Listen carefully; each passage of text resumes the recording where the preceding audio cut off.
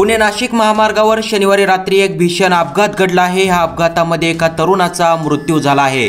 सदर प्रकरणामध्ये एका भरधाव वेगातील कारने दुचाकीला जोरदार धडक दिली.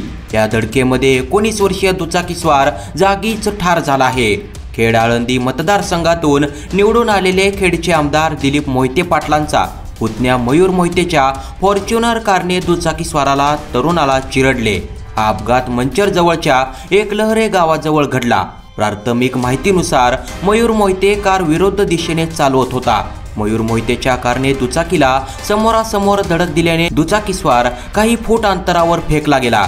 धक्कादायक बाब म्हणजे अपघातानंतर जखमी व्यक्तीला मदत करण्याऐवजी मयूर मोहिते कारमध्येच बसून असल्याचे कॅमेऱ्यात कैद झाले आहे.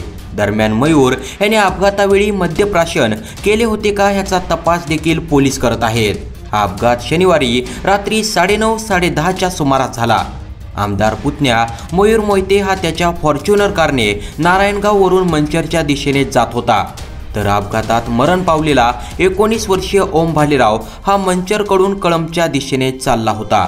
ओम हा मूळचा कळंबचा असल्याने त्याच्या मृत्यूची बातमी कळताच गावकऱ्यांनी मोठ्या प्रमाणात पोलीस स्टेशनजवळ गर्दी केली.